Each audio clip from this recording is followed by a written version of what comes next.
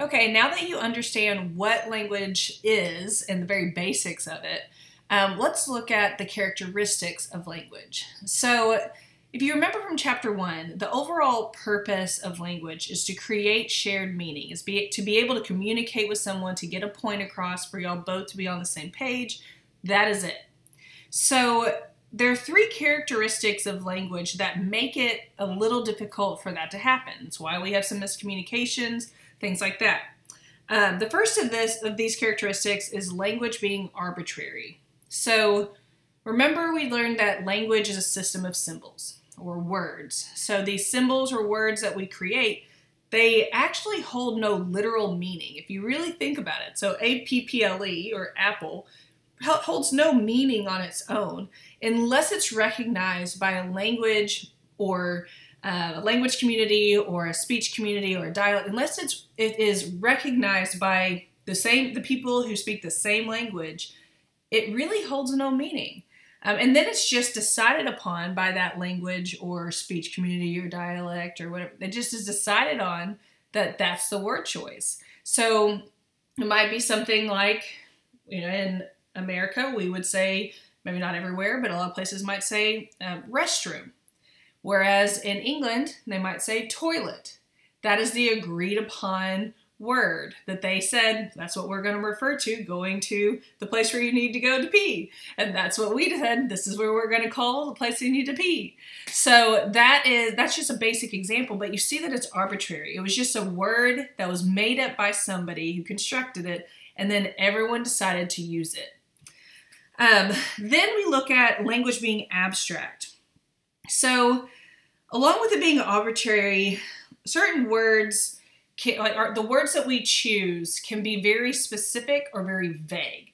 So if someone just said, "Oh, I have a pet," you really don't know what kind of pet they're referring to, but something might come to your head. Like if I said, "I have a pet," right now you might think about, okay, Miss Peters' pet, and so you have something in your head. But I wasn't specific on that, so that was abstract. Now, instead of using abstract language, I could use concrete language, which would mean I would say something like, Oh, I have a black cat named Salem. He's my pet. That would be making it very concrete. You have a very clear idea of the type of pet that I have. So when we use abstract language, sometimes we it can it can cause it can hinder the shared meaning happening. So whenever you talk to someone, especially somebody you don't know very well, who you know, like I think in other chapters we're going to talk about um, when you have historical context and all of that. But if you're talking to somebody you don't know well, it's best to use concrete language so they understand and have a clear picture of what you mean to obtain shared meaning. Okay, so then language changes over time. And this is the last characteristic. And that means that, you know, over time, new words get created, words kind of fall out of use. Um, I think there's one other reason that, let's see, there's several different reasons why. But those are kind of the main ones that I was going to fo- focus on. Like new words are being invented, like the word selfie. We started using selfie because there, we got these things called cell phones, and there's this new phenomenon where people were like, "Hey, I have a really good camera. I look good today. Mm, take a picture." Right? And so you took a picture, and then this started happening a lot, and it started becoming socially acceptable. And so we said, "Okay, we need a word now to describe this phenomenon." and we said, all right, let's call it a selfie. Okay, so then ever then people started that caught on, and then before you know it, our whole language community uses. Well, I guess I don't really know for sure. I'm assuming a whole language community uses it, but I know for sure that the the U.S. dialect of English we all use uh, the word selfie.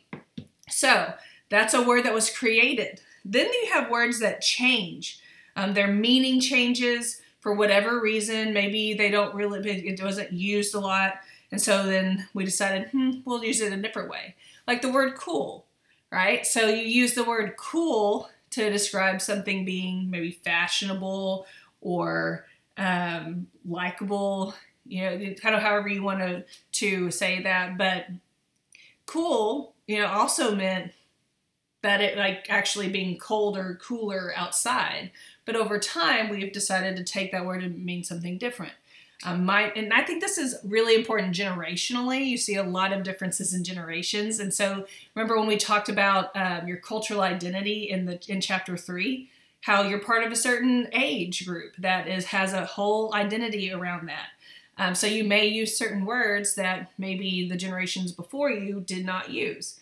Uh, for, so for like an example, my husband always says the word tight for something being cool. Like he'll say, "Oh, that's tight." And I just want to laugh because I want to be like, no one uses says that anymore. Um, or my best friend says crunk, and I'm like, again, no one says that anymore. Um, but those were words that were that were taken. Well, I guess the crunk was something that was created. That was a created word. But my husband saying tight, that was a word that once held one meaning, and then we gave it new meaning to describe something being cool. So you can see that in your own um, in your own life. You probably have some words like that from your generation that were used that either were created or they held new meaning.